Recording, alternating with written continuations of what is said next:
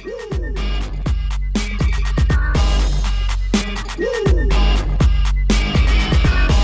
into the spotlight.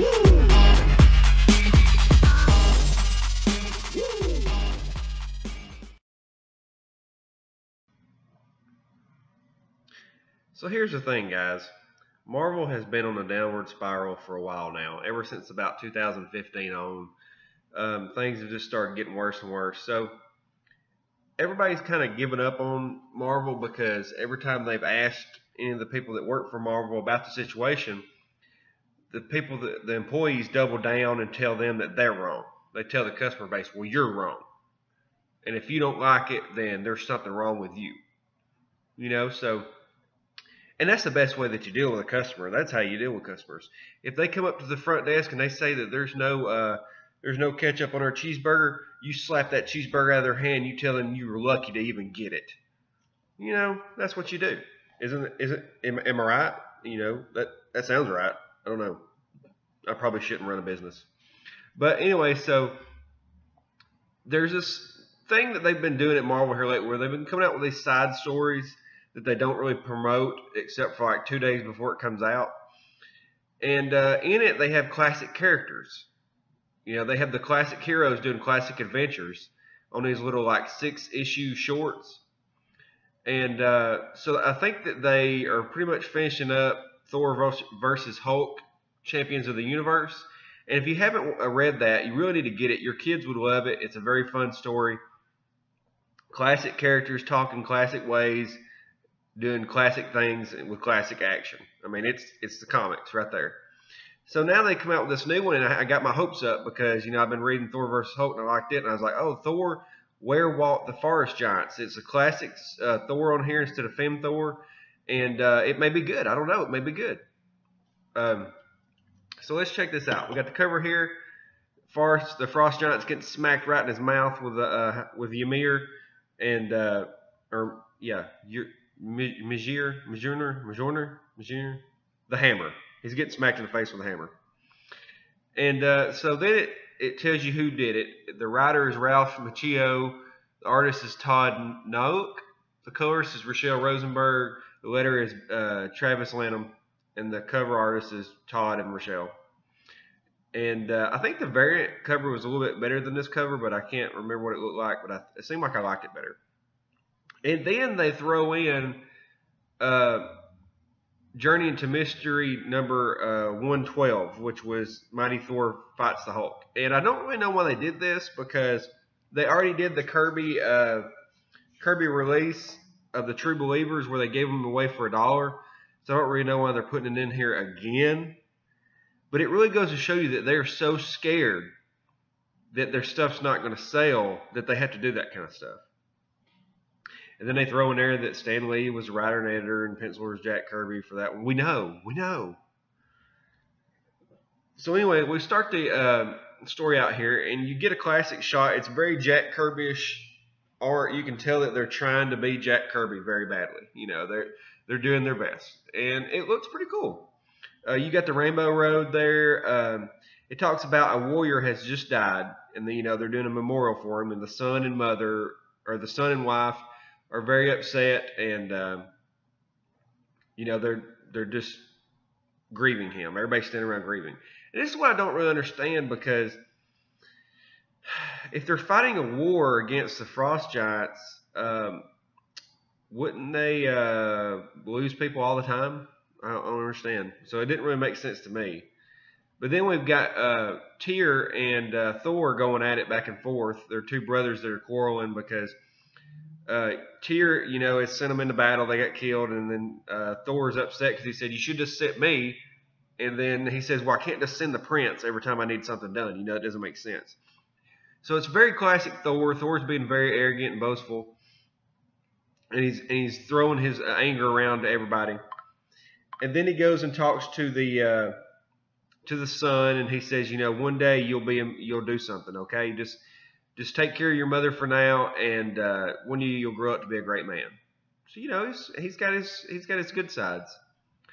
Uh, so then he decides that he's not going to wait on his brother to do something about it. He's going to do something about it. It's just like, you know, in that movie Thor, the first movie where he just kind of takes off on his own. It's kind of that same thing. He's going to go uh, to, to uh, what's it called? N- Niflheim. He's going to go to Niflheim. he's going to attack the Frost Giants himself. He's not waiting. So after he leaves, everybody else finds out. The the Warriors three find out, and they go after him too. And I was kind of upset that they didn't have Sif in this. They should have had Sif with them. You know, she was she's a cool character. I don't know if this is before they met or what, but where's she at? Did they forget about her? But anyway, uh, so it shows him galloping into Niflheim, and he's talking about how it's weird because the snow has like started to come from Niflheim all the way to his realm, and you know it's it's snowing when it's not supposed to be in Asgard now, and he knows something's wrong. So when he gets there, he finds a giant frost engine that they've built to basically pump snow out. And uh, then that's when he's attacked from all sides by the frost giants. And the frost giants look pretty mean. They look pretty ferocious. They're not like the normal looking frost giants. They look like big abominable snowmen on steroids. And they talk. I love the way that they talk in this comic because they talk very Asgardian and very Niflheim, like like uh, uh, very proper proper and almost with rhymes when they talk. And uh, I like that because it shows that these people, the people that did the writing, actually you know care about what they're doing. Nobody's making pop culture references. You know what I mean? So then he he's going at it with the Frost Giants, and then the Warriors three show up, and they're all fighting them, but they're very much outnumbered. They get taken down and captured,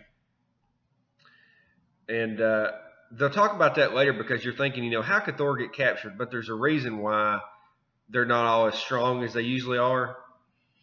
But anyway, um, they capture them. They take their horses. I was afraid they were going to eat their horses, but they just stabled them. I don't really understand why they just stabled them, but okay. You know, you got to have a reason.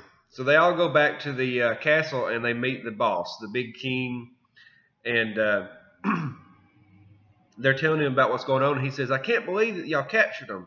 I must send a courier to uh, Asgard at once to let them know I have the prince."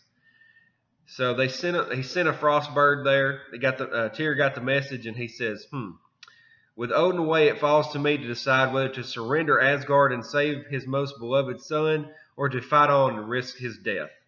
Hmm. So we've got something to lose. We've got stakes in this, you know. We're, we're caring about the characters.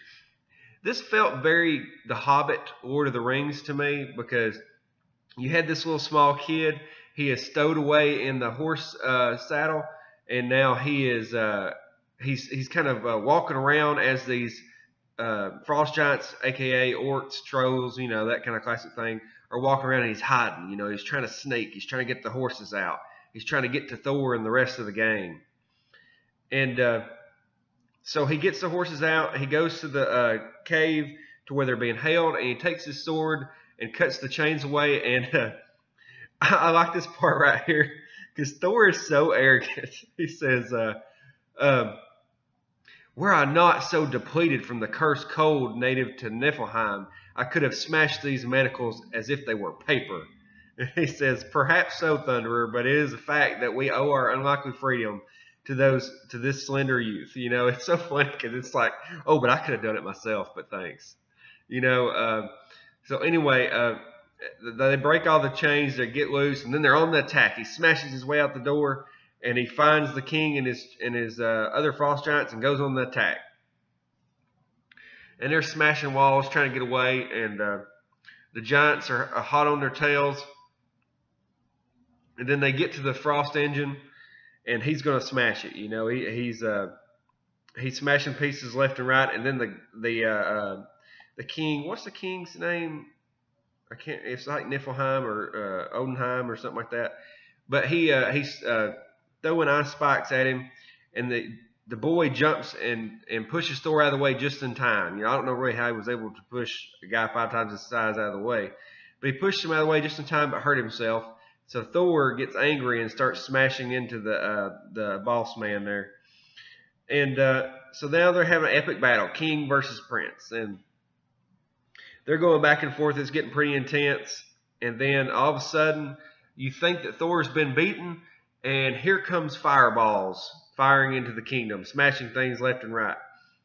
and uh, then the other group is fighting uh, the forest giants, and then more fireballs come blazing in, and then we see it's actually Tyr and the army has showed up with their catapults, and he says, "Tyr commands you forward, warriors, attack for Asgard," and it's pretty awesome. So they're all they all got like their fire lances and fire catapults, very uh, Jack Kirbyish. And they say, against such weapons we must retreat. The flaming lances they burn. How quickly you flee the raging flames that would destroy you. No, the flaming stones bring heat, accursed heat. Ha, is the strutting behemoth who would enslave all the worlds? Is this a strutting behemoth that would behave all the nine worlds? And, and it's like a it, it's pretty funny because he's like, please just stop the fire. We give up. We give up. Just, just stop the fire. So he smashes the uh, snow engine, and uh, then they all, you know, it, it's it's one of those classic '90s comic book stories because at the end of the day, all the heroes are standing around thanking the little boy, you know, for saving the day, and then they ride off back to Asgard. then, you know. And uh, so a kid that was reading this would love this. He would say that and go, "Oh, I could do that," you know and it would he would grow up, you know, just loving superheroes. This is what we need back, guys. This is what we need back in comic books. We need this these kind of stories. They don't have to be big, huge comic book ending events. They can just be these little adventures like this. People would pay two ninety nine, three ninety nine to read these stories. Bring this back into the into the uh, to, to the uh, uh, continuum of the actual storylines. And it makes you wonder if they're not testing it out, doing these little stories like this, saying, hmm, let's see if anybody reads this, but let's not pub, you know, let's let's not promote it at all. But let's see if people read it. You know, it, it's it's very weird. I, I don't really understand their tactics. it's kind of like on Ricky Bobby, where uh, Magic Man was like, I don't really understand your tactics. But uh, anyway, this is a very fun comic. I say definitely give it a read. If nothing else, it'd just be a fun little afternoon of reading. You know, that's all it's meant to be. They don't have to be these life changing things sometimes. Sometimes they can just be fun. But that's all I got to say. Tell me what you think about my review. Tell me what you think about this comic book. Uh, Ralph Macchio definitely knew what he was doing. I don't know if this is like a direct copy of an older comic book, but it's fun. Uh, and I do see that the cover, they I do see where Rachelle Rosenberg spent more time on the cover than they did on the inside because you can kind of tell by looking at the cover the coloring is better. Um, but it's still good. The book's still good. You know, it, it's very Jack Kirbyish, and so I give it to him for trying. But all right, guys, I got some more reviews coming. Tell me what you think about this. Tell me what you think about Thor in general and the storyline and where they're going with it in actual continuity and and tell me if you're hoping that maybe they'll bring back the original Thor. All right, guys. I'll talk to you later. Underground Geek out.